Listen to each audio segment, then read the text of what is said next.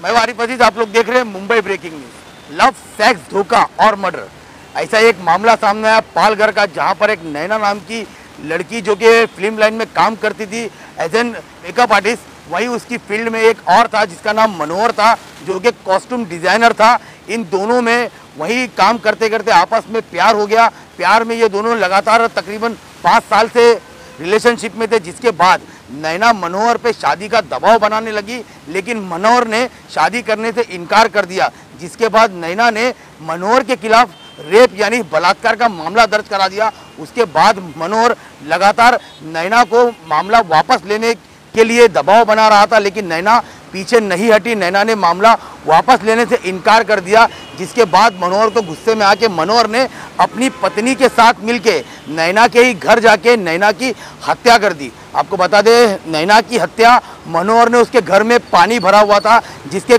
बाल्टी में उसमें मुँह डुबाकर नैना की हत्या कर दी और नैना के घर से एक बड़ा सा सूटकेस लिया और उसमें नैना की बॉडी रखी और अपनी पत्नी के साथ बॉडी लेके जाके गुजरात के वलसाड़ की खाड़ी में फेंक दिया। आपको बता दें, ये मामला पूरा तब सामने आया जब नैना की बहन लगातार नैना से कांटेक्ट करने की कोशिश कर रही थी, लेकिन नैना से कांटेक्ट नहीं हो रहा था, जिसके बाद नैना की बहन ने पुलिस में मामला दर्ज कराया और पुलिस ने इस मामले को संज्ञान में लेते हुए नैना की गुमशुदगी की रिपोर्ट दर्ज करने के बाद नैना की तलाश शुरू कर दी, लेकिन नैना कहीं नहीं मिली। तब उनको पता चला कि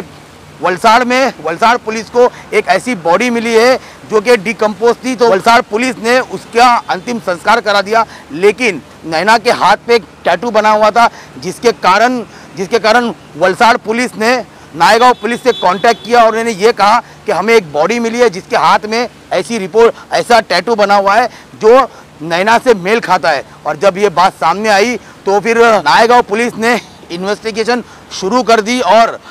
जब नायगांव पुलिस को ये पता चला कि नैना ने कुछ वक्त पहले ही मनोहर पे बलात्कार का केस दर्ज कराया तो नायगांव पुलिस ने मनोहर की जाँच शुरू कर दी, जिसमें मनोहर के घर के सीसीटीवी चेक किए गए, नैना के घर के बाहर के सीसीटीवी चेक करे। जब नैना के घर के बाहर के सीसीटीवी चेक किए गए तो